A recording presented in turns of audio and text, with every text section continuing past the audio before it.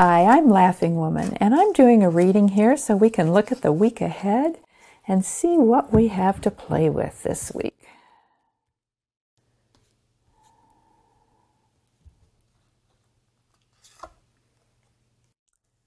The first card is Three of Fire, Growth.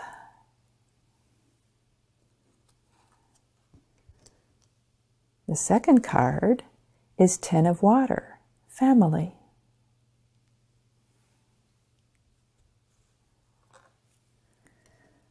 The third card is Ten of Air, Repetition.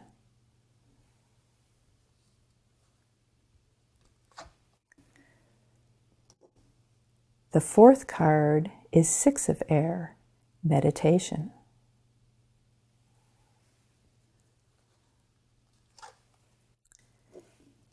And the fifth card is Major 11, Strength. So we're beginning the week with growth, followed quickly by family. This tells me that it's entirely possible that your family will begin growing this week. Now, that could be that a friendship becomes something deeper. It could be that somebody in the family brings a new mate in. Maybe there's a wedding or a, a declaration of commitment between a couple in your family. It could mean that a new baby's on the way. It could mean that a new friend is being made who really becomes somebody that's as close to you as a family member.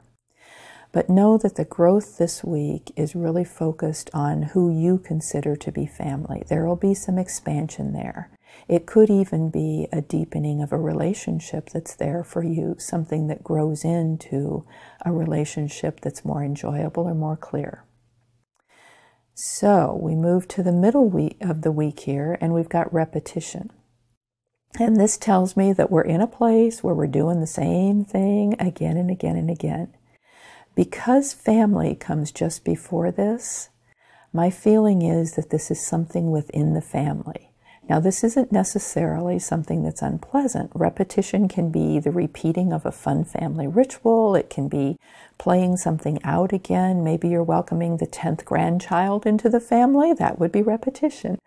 Um, but look for the places where patterns are repeating themselves this week. And there's a message in that for you. You want to take that repetition, repetition into meditation the next day, toward the end of the week. You're going to be doing this. And just give yourself permission to ponder whatever the repetition is that you identified at the middle of the week and think about what does this really mean to me? Why would I be engaged in this type of repetition? From that, you come into the end of the week with a lot of inner strength. So, whatever it is you're repeating here in the middle of the week is something that supports you in being an empowered person. Make sure you get clear about what that is. It's a wonderful tool to have.